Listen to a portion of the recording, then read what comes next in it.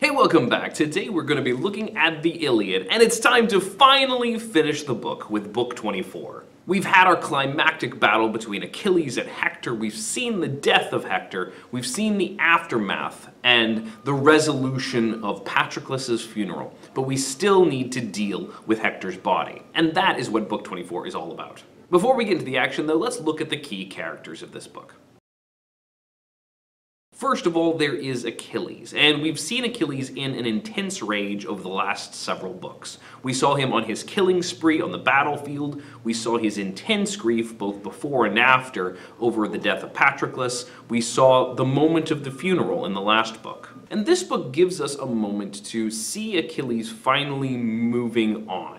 It's not that his grief really necessarily lessens, it seems that he's just beginning to move into a new stage. And perhaps we saw some of that at the funeral. He was deeply racked with grief, but he was also beginning to sort of accept his own death. And maybe all that giving away of prizes to all of his friends was a sort of way of accepting his own death and accepting that he would return to Patroclus in death. And we're going to see in this book that his vengeful spirit is finally going to be tempered and Achilles, whose rage marked the opening of the book, and whose rage created most of the major plot points throughout this book, is finally going to tone it down. And we'll see how that works in the book. The next important character is King Priam, the king of Troy, Hector's father. And he is much more the man in the throes of grief. He's right in the middle of it. And you can see that in the way that he both responds physically and also in the way that he responds to all the people around him. He rages at some of his family members for no good reason. He's very emotional and not particularly rational in this section. And it's interesting to see the two of them at different points in their grief arc. Next we have the god Hermes, who is going to come down and be involved in this whole exchange between Priam and Achilles. And of all the gods, he tends to be a little bit more light-hearted. We saw that he didn't engage in the fighting earlier on. He also, in this book, tends to be just generally more jovial than any of the other gods. And he's sent to help Priam out in this difficult time. We also have the goddess Thetis again, who returns to comfort Achilles one more time, as she has throughout the book. Only at this point, she's urging him to move on beyond his grief. She's stopped to comfort him and help him to get what he wants multiple times, but this is time to start letting go of his grief, to start returning to life and accepting where his position is. We also need to mention Hecuba, the mother of Hector. As she walks this challenging position, she is grieving over her son, but she's also trying to keep her husband from doing anything rash in his grief. And that balance between her own grief and her need for rationality is a challenge. We also have one very touching grief scene at the end, which includes laments from Hecuba, as well as Helen, as well as Andromache, and also a brief one from Cassandra. All of these women, other than Cassandra, have played a key role in this book. And this is a chance to hear them one more time as they express their grief over the loss of Hector. Okay, let's look at the action now. We pick up where we left off, the funeral is over, the funeral games are over, and now we return to life. And as Achilles ends the funeral and goes back to his place, he still can't let go of the grief he has over Patroclus. He can't just go on at the drop of a hat. And so as he lays in his tent at night, he's still tossing and turning and grieving. And every time the grief gets too much, where he has this insomnia and he can't sleep, he gets up, saddles up his chariot, ties Hector's body to the back of it, and drives three times around the mound for Patroclus. This goes on for 12 days. And in this time, the gods are beginning to feel sorry for Hector, having his body dragged over and over and over again.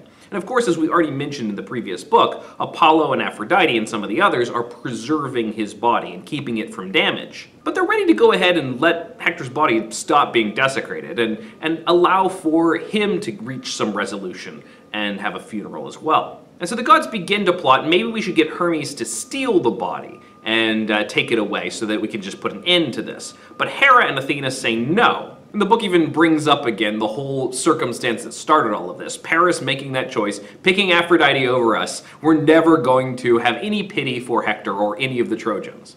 And Apollo tries to plead for Hector, saying, you know, look, you know, you all pour all this love into Achilles, But Hector deserves some love too. Hera doesn't think so, because after all, Hector is more mortal than Achilles. Achilles is the son of a god, so, you know, he deserves a lot more respect than Hector. But Zeus finally makes the ultimate decision, and he says, okay, no, Hector does deserve our, our love as well. After all, think of all the times that he sacrificed to us, all that he was in his life. But you're right, we don't want to steal the body of Hector because that would bring dishonor on Achilles, and Achilles deserves the honor. Instead, what I'm going to do is I'm going to send Thetis down to him and tell Achilles to finally let go of his anger and ransom the body back to Troy. And I'm going to send Iris down to Priam and tell Priam to come ransom the body. That's what we're going to do. So Zeus calls Thetis up and she comes and she sits among the gods and she's still looking like this mourning mother. She's still full of grief over everything that's happened. Grieving for her son who's going to die, grieving for his pain throughout his life. And they all try to be nice to her. They give her some wine and kind of comfort her a little bit. But then they send her down to Achilles and say, Tell Achilles, it, the gods want him to let go of the body. The gods want him to give the body back have some respect for the gods, and choose this path. After all, we don't want to dishonor your son by stealing the body. Come on, let's do this thing. And so Thetis goes down to speak to Achilles. And she finds him there, still grieving, still crying, still choked with sobs, as everybody else is eating breakfast. And so she sits down by his side and she pats his head again, just like she always does. And she says, My child, how long will you eat your heart out here in tears and torment? all wiped from your mind, all thought of food and bed. It's a welcome thing to make love with a woman. You don't have long to live now. Well, I know. Already I see them looming up beside you, death and the strong force of fate. Listen to me quickly. I bring you a message sent by Zeus. He says the gods are angry with you now, and he is rising over them all in deathless wrath, that you, in heartsick fury, still hold Hector's body here by the beaked ships, and will not give him back. Oh, give him back at once. Take ransom for the dead. So she pleads with him in warning against that the gods are getting annoyed with him over this. But she also tells him, I know your grief, but it's time for you to move on and try to enjoy what you can out of life while you still can, because it's not going to be much longer. You know you're going to die. You might as well try to enjoy what you have left and stop spending your time in grief and pain and moping. And perhaps surprisingly, Achilles agrees immediately. He doesn't waffle around about this at all. He just says, okay, so be it. Whoever comes to ask for a ransom for the, for the body of Hector, I will do it, if that's what the gods want. Why does he agree so quickly? Well, it may be the first sign that he's finally letting go of his grief. Although he was racked with sobs when his mother approached, he is able to put that aside and agree with the gods on this point. However, we step away from Achilles for a little while and jump back to Troy, where we see Priam, who is in a much worse state than Achilles at this point. Twelve days since his son died, and he definitely has not let up. In fact, his clothes are all a mess, he's got a mess all over his head, he's just soiled his body and, and uh, is just racked with grief. He looks awful. And Iris comes down to him and repeats the message of Zeus, saying, okay, you need to go all alone to redeem the body of your son Hector. Go to Achilles now. You'll be guided by Hermes, you'll get there, and you'll get your son's body back. And he responds to this with surprise, but since she's a god, he immediately takes her word to heart. And he jumps up and he begins to get ready. He runs and starts grabbing all of his treasure, anything he can use to ransom the body back. And as he does this, Hecuba comes up to him. And he has this little conversation, which sometimes you have among couples, but it particularly sort of underscores his um, irrationality at this moment. He's like, honey, do you think I should do this? Do you think I should ransom back the body of Hector, go alone into the enemy camp, since I'm the king and all? And Hecuba's like, no, not a chance. If you go in there, Achilles will probably just kill you. There's no way you should do that. You're the king. You can't just waltz in there by yourself. And then Priam's like, no, I'm gonna go. And so he, you know, he asked her opinion and then he immediately discounts her opinion, throws it out. I saw a goddess, she promised me, I'm gonna do it. So then he grabs all of his stuff and starts loading his cart. And when all the Trojans gather around him, wondering what in the world is going on with their king, he starts yelling at them and, and just ranting at them and telling them to get lost. They don't understand his grief. He's grieving over his son. And he starts whacking them all with his stick and chasing them all away. And then his all of his sons come before him, all nine of his remaining sons. And as they stand before him, he starts shouting at them and saying, Y'all are a bunch of worthless losers! Get to your work, my vicious sons, my humiliations. If only you'd all been killed at the fast ships instead of my dear Hector. But I, dear God, my life so cursed by fate, I fathered hero sons in the wide realm of Troy, and now not a single one is left, I tell you. Mestor the indestructible, Troilus passionate horseman, and Hector a god among men, no son of a mortal man, he seemed a deathless god's.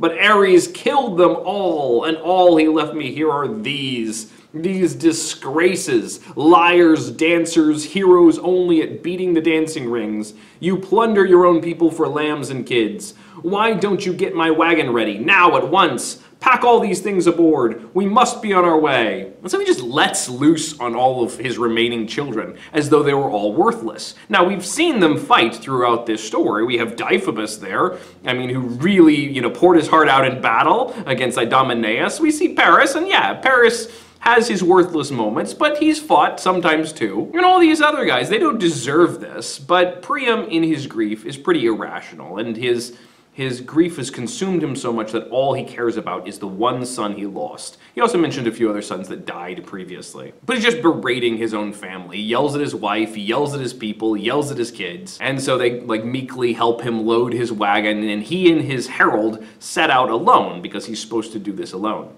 But just as he sets out, Hecuba runs up one more time. And we've seen her throughout the book. She's always this uh, maternal, very nurturing kind of character. She just got yelled at by her husband, and she just got kind of ill-treated a moment ago, and yet she comes to her husband again and says, please, pour out a cup of wine for Zeus so that, you know, he may give you success in this venture.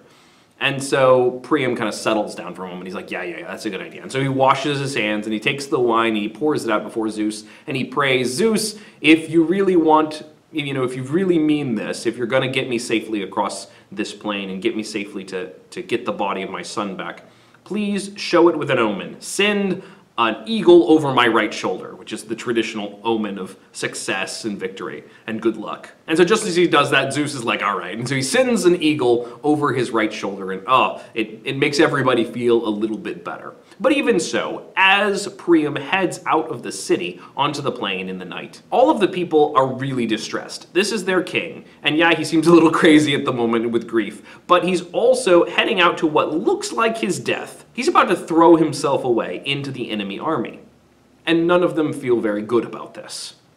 And so Priam and his trusty herald are, are riding across the field, and, and it's dark and it's spooky and you, they don't know who's going to jump out at them at any time, whether the Greeks are going to suddenly surround them and kill them. When they run into this young man who looks very handsome and very young, and it turns out that this is Hermes in disguise. And rather than revealing himself at first, he pretends to be an aide to Achilles, one of the, the Greeks and he does this friendly banter back and forth with Priam, and but he, he honors Priam and he says, I'll lead you into the camp and, uh, and I'll show you the way. And when Priam asks about the body of Hector, he, he helps to resolve his mind on that and says, well, the body's still been preserved, the gods are taking care of it, they care about him. And so Hermes leads Priam through the, the camp. And of course Hermes is a god, so he's able to like ding ding knock out the guards and make them all fall asleep. And he just flips the the the giant bar across the gates that takes three men to lift. He's just able to knock it out really quickly. And so they're able to get into the camp and at this point hermes reveals himself and tells priam who he is and sends priam in to sit with achilles and so priam leaves the old herald Idaeus out there and he goes into the tent of achilles and of course this is kind of a shock to achilles but what's even more shocking is that the very first thing priam does as he enters Achilles' tent is he kneels before Achilles, grabs his knees, and kisses his hands. And of course, this is the posture of uh, a suppliant. This is a posture of someone who is begging and pleading. And of course, he's begging for the body of his son. But what's shocking is that he's kissing the hands of the man who slaughtered so many of his sons. And everyone is really taken aback and shocked by this. And Priam pleads with Achilles reminding him of his own family, particularly of his father. Here's his speech. Remember your own father, great godlike Achilles, as old as I am, past the threshold of deadly old age. No doubt the countrymen round about him plague him now, with no one there to defend him, beat away disaster. No one. But at least he hears you're still alive, and his old heart rejoices, hopes rising day by day to see his beloved son come sailing home from Troy. But I, dear God, my life so cursed by faith, I fathered hero sons in the wide realm of Troy, and now not a single one is left, I tell you.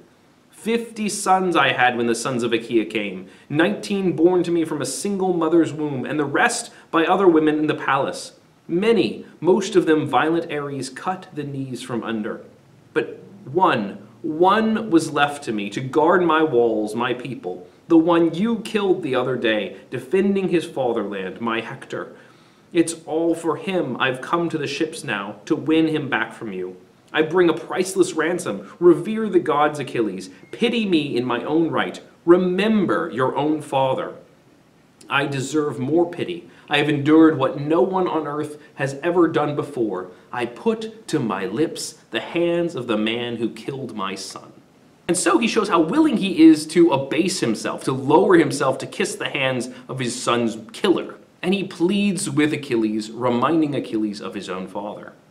And Achilles, in this moment, begins to think of his father, and he thinks of old Peleus, because this man looks like his old father. He thinks of the grief of fathers who have, who've lost their sons. And he also thinks of his own grief over Patroclus, and he sees that reflected or mirrored in Priam. Priam wept freely for man-killing Hector, throbbing, crouching before Achilles' feet, as Achilles wept himself now for his father, now for Patroclus once again, and their sobbing rose and fell throughout the house.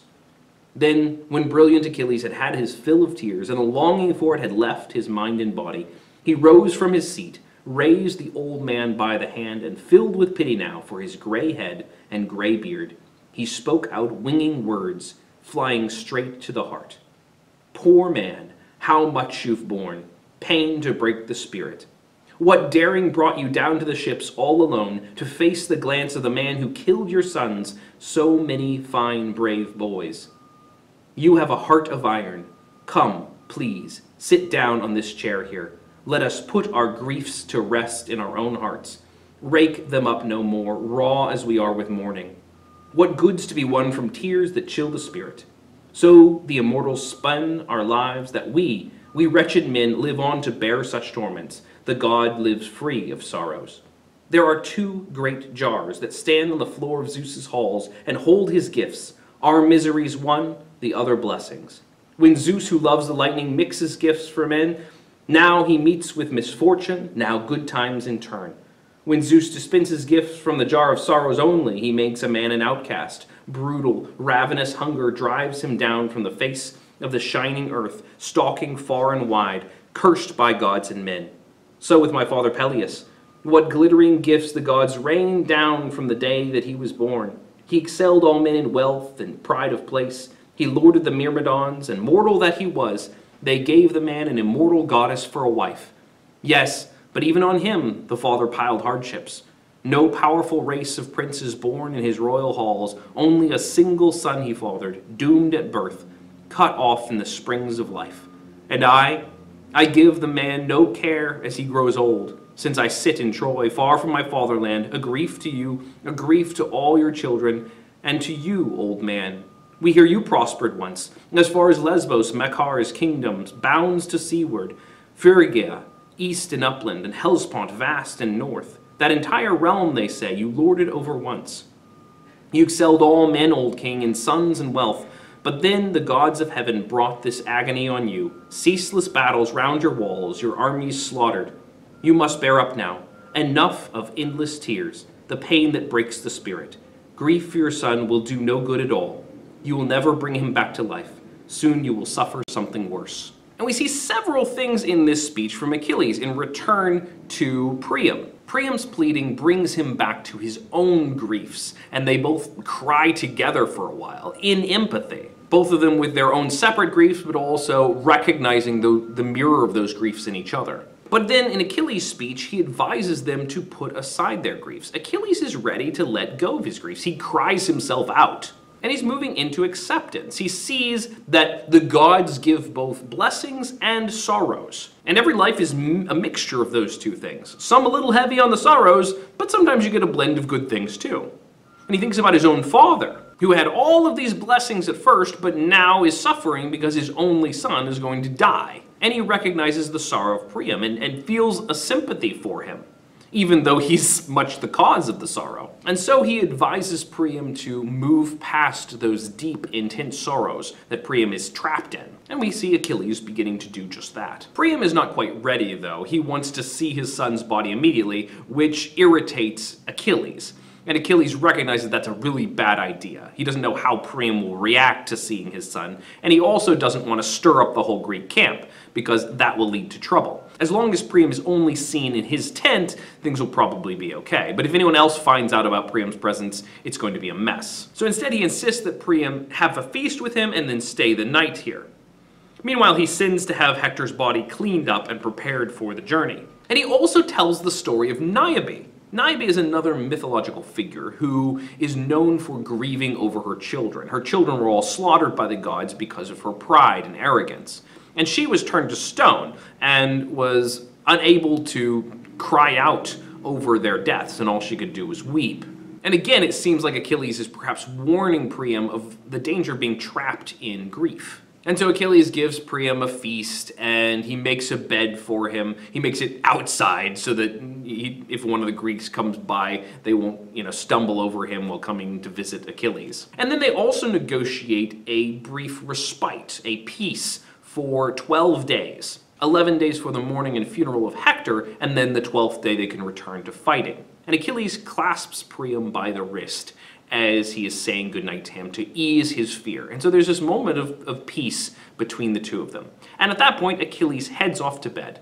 And he doesn't just head off to bed, he heads off to bed with Briseis, who we saw all the way from the beginning. She's the girl that was stolen from him by Agamemnon. I think it's significant that he heads off to bed with her, for several reasons, and I'll talk about those at the end. But Priam settles down into bed, but he doesn't sleep for very long before Hermes, who is concerned that he's going to be caught, comes back and wakes up Priam and says, You gotta get out of here. Let's get out before anybody wakes up. And so they quietly slip out of the camp with the body of Hector, and as they come back into the city, the first person to see them is Cassandra. Now, we haven't talked about her much in the Iliad, but she is an important character in the Trojan War. She's the daughter of Priam and known for her prophecies, but nobody listens to her. But she's the first one to see him, and she cries out and wakes everyone up with her crying, recognizing that their hero, Hector, has returned, but he's no longer the protector of the city. And then we get grief speeches by several important ladies. First is Andromache. She finally sees her husband's body again. She thought it was lost forever. And she is deep in grief, knowing that the death of Hector means the destruction of the city. It means her own destruction. It means the death of her son. And he died far away from her arms, and it's breaking her heart. The next one is Hecuba, who again grieves over the loss of her son, the protector of the city, but she also is thankful to have his body returned to her finally. And finally is Helen, the one who started all of this. And she is deeply grieved to see Hector's death. And as we've seen her before in the book, she feels intense guilt and grief over the fact that she's the cause of all of this. She wishes she had died back at the beginning. But she grieves especially over Hector because, in spite of the fact that she was the cause of this, Hector was always kind to her. And these grief scenes are very, very touching and very emotional. And at the end, Priam tells them all about the, the reprieve in the fighting and gives them instructions to gather together materials to have the funeral pyre for Hector. And so the book ends with this big funeral for Hector, and the people mourn for the next several days. But it also ends with no end to the fighting and more doom on the horizon. We know that several of these other characters are going to die eventually in the fighting. Achilles is going to die, Priam is going to die, Troy is going to be destroyed. Okay, let's talk about some of the key features of this last book. First of all, it is a resolution. It is resolving the arc of action throughout the book. And much like the previous scene gave us a, a, bit of resolution for several of our favorite heroes, this one gives us a resolution for the major overarching action and tension between Hector and Achilles. And it also gives us a, an end to the rage of Achilles that started the book. Achilles is finally ready to let go of his anger and even let go of his grief. And in having this moment of empathy with Priam, it allows him to be free from the grief that has racked him over the last several books. We see him accepting the grief and the, the way that the gods will throw both grief and joy into our lives. And he learns how to go on living, even though that his death is clearly looming. And I think that's pretty clear in the fact that he goes to sleep with Briseis here. She was the beginning of the book, and she's also at the end here. He's returned to the state he was in before everything fell apart in book one. And of course, we see as Priam's grief mirrors Achilles, but also is intense and not ready to let go. We see the, the world in the throes of grief. Throughout this book, we've examined the cost of war, the pain of war, and that's clearly evident here. And the war isn't even over. We end this book much like we started it. We started in a war that seems almost unending, and we're still in a war that seems unending. The cost is just going to keep rising. It's not over yet. And that's the end of the Iliad. Thanks for watching. You can click to subscribe or watch another video, and I'll see you next time. Bye-bye.